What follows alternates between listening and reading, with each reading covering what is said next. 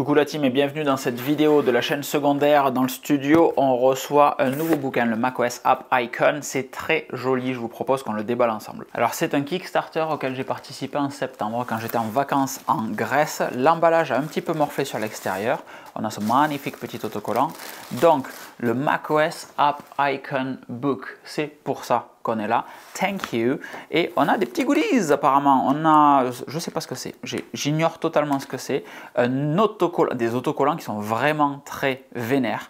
Si vous avez la référence de tout ça, ben je vous laisse le mettre dans les commentaires. Moi, Dino Lord, ça me parle absolument pas. C'est peut-être le mec qui a fait les dessins, etc. On va mettre ça sur le côté.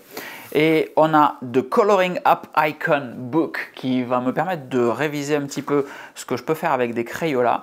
Et l'idée, ça va être de colorier les icônes d'application très très très fun. Si je dis pas de bêtises, ça c'est Clear et elle a été mise à jour hier. Je vous en parlais sur Instagram et sur à peu près tous les réseaux, Threads, etc. Très très fun. Vous pouvez designer vous-même vos propres icônes, peut-être un icône pour locan.jp. On a donc le macOS App Icon Book de Michael Flarup et j'ai commandé en plus The iOS App Icon Book qui est sorti précédemment mais que j'avais pas acheté. Celui-ci est donc le Kickstarter auquel j'ai participé. Celui-ci est un Kickstarter Et vous auriez raison de vous demander ce qui se passe à l'intérieur du macOS App Icon Book avec un petit transfert absolument magnifique. Ownership, Name, Occupation, Address, dédicacé, très très classe, très très classe que ça soit dédicacé. Voilà à quoi ça ressemble, c'est du beau papier, on a les différentes applications qui vont être partagées et surtout des artistes spotlight, les développeurs qui ont fait les, graphistes aussi et surtout qui ont fait les icônes des applications, l'introduction du coup de notre cher ami Michael. Et je vous laisse profiter en fait, je sais même pas si j'ai trop besoin de parler moi là-dedans.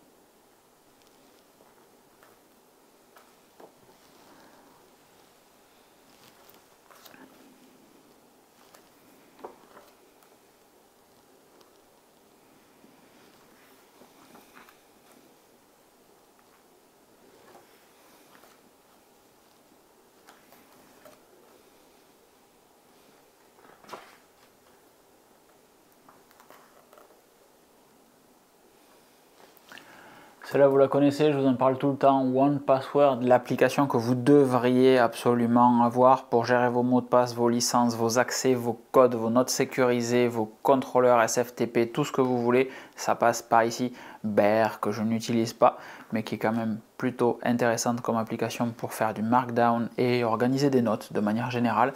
C'est un très beau livre. Je ne vais pas tout passer vraiment parce que, euh, bah, en fait, c'est pas l'idée, mais c'est vraiment un très très Très beau livre. Ça, c'est The macOS App Icon Book et on a l'ancien, entre guillemets, The iOS App Icon Book. Mon cadrage n'est pas super ouf, pareil, dédicacé, je trouve ça vraiment, vraiment très très classe.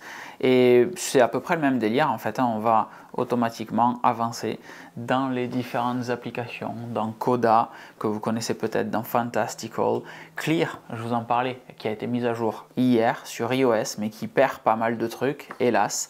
Things, et on en a déjà parlé sur la chaîne principale, évidemment. Navigator, on a Wonderlist qui, je ne sais pas si ça existe toujours d'ailleurs, Wonderlist. Toutes ces applications qui sont absolument incroyables, très très beau, très très beau ça aussi.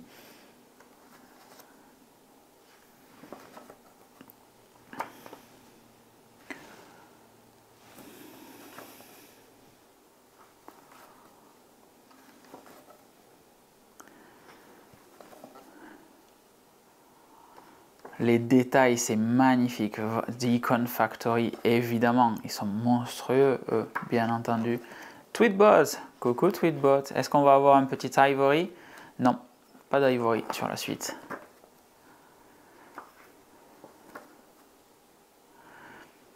on a Flighty ici en haut, dont je vous parle régulièrement. Est-ce qu'on aura du Basic Apple Guy dans ce type d'article, dans ce type de livre?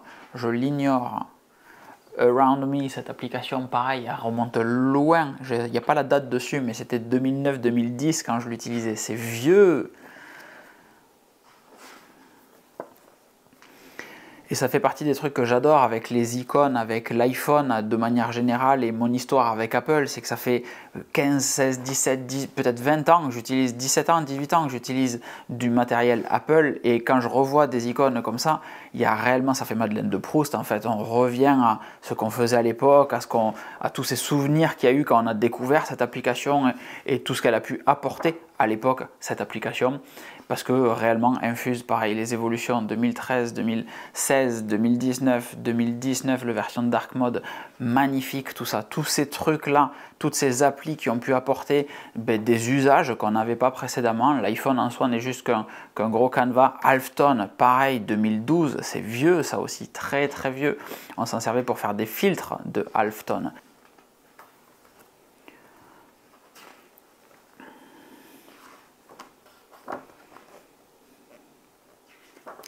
Duolingo, pareil.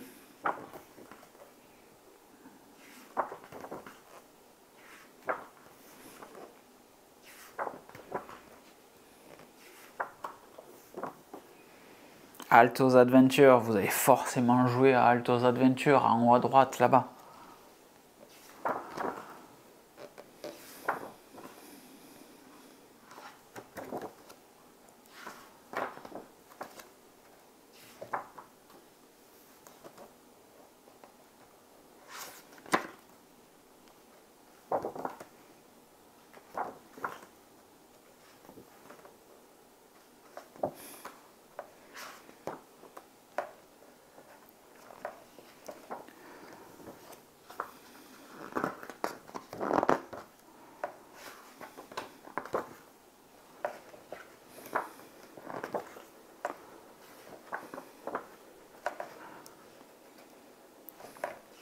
One Password à nouveau, mais la version iOS avec les différentes évolutions de l'icône vers du, plus en plus du flat design, très très beau. Il y a tellement de choses à raconter avec un icône d'application, tellement de choses si on est curieux. C'est incroyable, incroyable.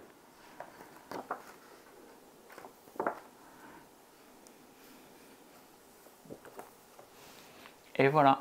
Alors l'idée de cette vidéo, c'est pas de vous partager tout le contenu du livre, mais juste de vous présenter ce livre et que vous sachiez qu'il existe s'il peut vous intéresser. Je vous mets dans la description de la vidéo le lien vers la page Kickstarter où j'ai moi commandé ce livre et de là vous pourrez rebondir à peu près partout. Dans la série Beaux livres achetés il y a des années, il y a aussi celui-ci qui vous parle peut-être, c'est le livre Designed by Apple in California qui était une série limitée et que je suis très très heureux d'avoir acheté en version grand format. Ça donne des pages comme ça par exemple, c'est assez Donc j'espère que ça vous aura plu, je vous souhaite une excellente fin de journée et je vous dis à très vite. Des bisous, ciao ciao